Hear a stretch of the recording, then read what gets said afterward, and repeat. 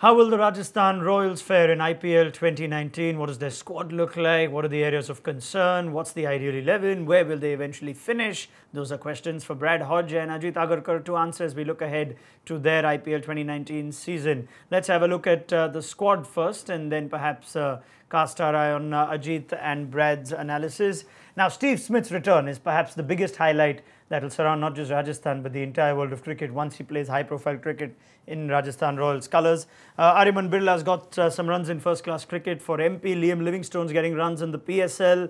They've got some Indian batsmen as well uh, in uh, Parag. Of course, a bulk of it depends on those three names. Rahane, the captain, Rahul Tripathi and Manan Vohra are uh, all going to be key as far as the keeping options go. Buttler, for whenever he's available, you'd assume would be straight up top. A mistake that Rajasthan made putting him there only halfway through the season. Sanju Samson's a prolific IPL run getter too. As far as the all-rounders go, there's Jofra Archer from the overseas contingent, so too Ben Stokes and Ashton Turner, who comes off a good BBL with the Perth Scorchers. Krishnappa Gautam was good for them too last season. There are wrist spinning options, Ish Sodhi amongst them. Midhun is a leggy, so too is Shreyas Gopal, you missed out in the previous list, and Dhaval Kulkarni, Oshane Thomas, Jaydev Unadkat, who's not gone for as much money this season, alongside Varun Aaron for the fast bowling. Right. If you look at all the squads, there are some good players in that team too. But if you look at all the squads, somewhere you think that Rajasthan's team does not intimidate like a Sunrisers or a Mumbai or a Chennai. Yeah, I mean, those three teams are really settled and the nucleus has been the same for a while. So it's much easier to just add one or two players to make it stronger, which isn't the case with Rajasthan. Although Rajasthan, couple of auctions back, spend a lot of money mm. and they still don't seem to have a team which can seriously challenge and yeah. challenge for the title. So uh, like you said, some really good players, uh, Stokes, Buttler, You know, Rahane had shown some early, sort of early IPLs. Had shown some yeah. form at the top of the order. Seems to have, uh, seem doesn't seem to have the same sort of impact uh, when he plays now. Sanju Samson looks good every time he bats. Uh, whether he can have, be their player who carries them in the tournament, you still have question marks. Mm. Steve Smith comes back, uh, might give them a bit more teeth, some you know experience, some great quality, obviously. Uh, but still, the short, squad looks short. Uh, Jofra Archer's that uh, sort of X factor, if you like, uh, mm. in the bowling. But apart from that, uh, there's not a lot of uh, dependency or quality. I mean, Unadkat, yeah. yes, Dhaval Kulkarni, all experienced sort of first class season campaigners. But you you almost look at that squad and you feel there's not enough there. All right, not enough. Would you go with that as well, Hodgey? Now, Steve Smith, I spoke to Ajinkya Rahane ahead of this season and he said they're looking forward to Steve Smith. He's going to be big for their plans. Would you want to invest a lot of faith in Steve Smith, who's just about making his way back to top level cricket?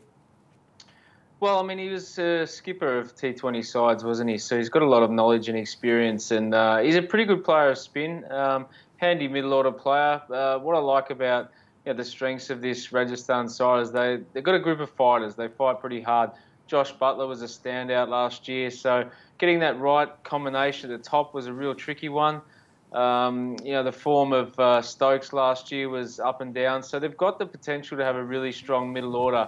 Uh, they lack a little bit of flexibility with the ball, I think. The spin department also, you know, the quicks. Uh, it just doesn't seem to have enough X factor in it for my liking. And then who have you gone for therefore for your uh, X factor players? I think you've put your investment in Josh Buttler, who was big for them last season, haven't you? Yeah, it's not surprising. I mean, unfortunately, we're not sure about you know the commitment that how long he's going to be there yeah. for. So, um, you know, that's a real testing one. Though he'll be sadly lost if he's not there for the whole tournament. But uh, he's an unbelievable player. Just all-round game and 360 dimensional players. Is phenomenal cricketer. Yeah, I mean, Josh Buttler is big uh, for them and he's coming off good, uh, big runs uh, for England as well in T20 since 2018. That's that's a particularly good number. Strike rate of 145. And we know the value Josh Buttler brings. Keeper batsman as well, just adds so much to this team. Availability, yes, is a question mark. We think the latter part of the tournament, perhaps the England players won't be available. So that makes it hard for them to replace Buttler and Stokes.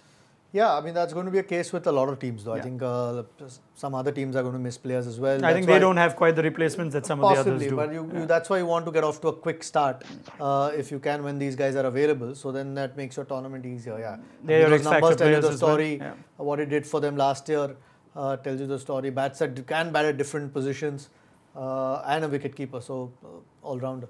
So you're going with Buttler for that X factor. You got someone else that you've picked for the Rajasthan Royals player to watch out for. No, I've, I've picked Stokes. Uh, just uh, as an all-rounder, what he did when he played for Pune, Hmm. uh, the season that he had, they got to the final. Someone with that kind of quality, Yep. uh, where he can bat uh, middle, lower middle order, uh, and impact games, and then come and bowl his four overs, uh, makes a huge difference to the team. If he's in good form, uh, especially because Rajasthan with don't have as much depth in their squad. Yeah. Uh, guys like him need to have big seasons for them uh, to do well.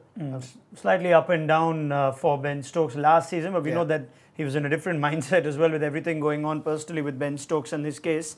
That seems to have cleared out. He seems to be a real force for England in white ball cricket. So let's see if the Rajasthan Royals can also count on him. What about the playing 11s then? Assuming everyone's fit and available, we know the likes of Stokes and Buttler will be missing once England summon them for international duty. But let's have a look at Ajit Agarkar's uh, playing 11. And there is one criticism of uh, the top order of uh, the Rajasthan Royals, Ajit, that perhaps there are too many guys that play one way. Rahane, Tripathi, Sanju Samson, you want Jos Buttler opening, in which case Steve Smith too is not ideally suited for the middle order as much as he is for the top order. Their thoughts on your team? I think Rahane's got to open. I don't think uh, out of all those Rahane, you know, probably be the anchor in the team and uh, try and bat uh, through that innings. Uh, uh, Tripathi can still, you know, bat quickly or try, plays a few more shots. So, and then you can be flexible with that order. There's there's a lot of quality there. I mean, Samson, uh, Buttler, uh, Smith, and uh, Stokes, all Yeah. four can bat at various positions and uh, bat against spin and pace alike uh, and do it well. So there is a lot of pedigree there. Hmm. It's whether all all of them can perform before they actually leave to go and prepare for the World Cup. So uh, yeah, they can shuffle their squad or their batting as as they would like. Uh, is their bowling? I mean, Archer needs to step up Sure. uh, for them to have have a real impact with the ball because the rest of it, although there's some experience in Unadkat and Dhaval, uh, you always feel that the X factor is always going to be Archer with his with the kind of numbers that he has in T20 cricket. Okay, what about Brad Hodge's first 11 for the Rajasthan Royals? And just have a look at uh, this team now to see if he's made any changes. Jofra Archer is going to be big, is what we do know. Varun Aaron also is a fast bowling option that they do have. But that's essentially the look of uh, that team for Haji Rahane. Would you go with Buttler at the top of the order to open as well, Hodgey? Yeah, look, probably I would have put the Sanju Samson at number three, but look, they were pretty solid at the top.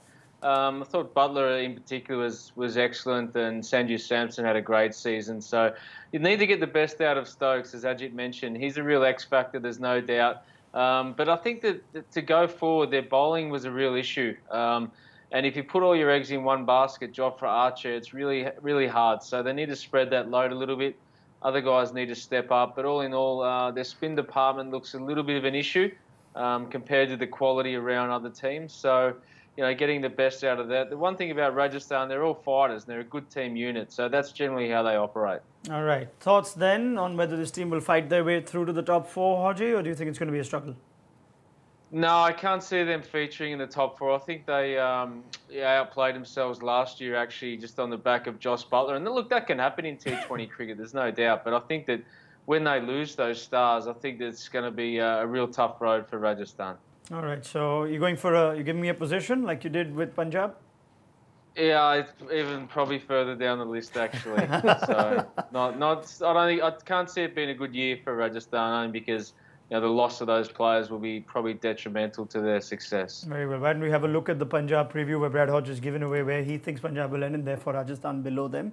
Are you going for Rajasthan to finish at the foot of the table as well? Yeah, I can't imagine them getting into the top four. I mean, at least uh, before the tournament started, like I said before, you know, who knows, uh, uh, three or four guys can, uh, you know, have massive seasons and get them to the playoffs, and then it's anyone's game. But uh, at this point, looking at the team, I think uh, I can't imagine them getting the top four. Okay, so plenty of work for Ajinkya Rahane and Paddy Upton then ahead of this season. Will they punch above their weight like they usually do? We'll find out for the Rajasthan Royals in IPL 2019.